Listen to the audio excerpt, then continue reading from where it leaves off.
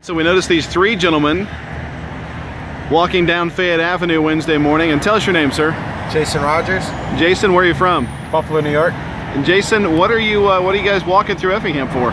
Uh, we were walking across the country from Buffalo, New York to Los Angeles, California. From For- Buffalo, New York to Los Angeles, California. That's a long way. Yeah, What uh, what's the purpose of the walk? it's for me and Chris to lose weight and for the three of us, me, Joe, and Chris, to change the momentum of our lives. Change the momentum of your lives. That's really cool. What uh, how much weight have you lost so far? As of Indiana, I lost 34 pounds. I haven't weighed myself in Illinois. We're trying to weigh ourselves in each state.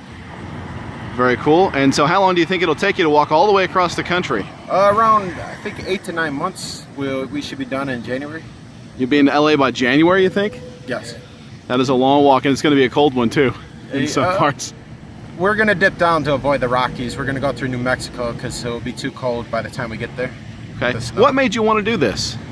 Uh, I was gonna go for a gastric bypass surgery in last year, and I had to lose 20 pounds in order to qualify. And so I started losing weight, and I lost 20 pounds within a month. And I still had other tests to get the okay to move on with the surgery. And I lost another 20, and I was like, ah, I could do this on my own. We started walking. Chris was helping me at the beginning because I couldn't even walk a half a mile.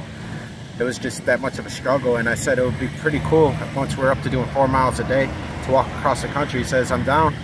And it went from there. Like we started planning. We committed last October, and we started planning right after that. So you just took a year off work to do it? Yeah, we uh, me and Joe quit our jobs, and Chris at the time was unemployed. You quit your job. Yes. You for to do this, you you just gave it up? Yeah, like I, it's, the opportunities for both of us for unemployment to regain it when we come back. Gotcha. So it's not like we're coming back to nothing. We still want that job. We can go for it. Doing it all to change the momentum of your life. Yes. All right. Well, Jason, good to meet you and good luck to you on your travels. Thank you.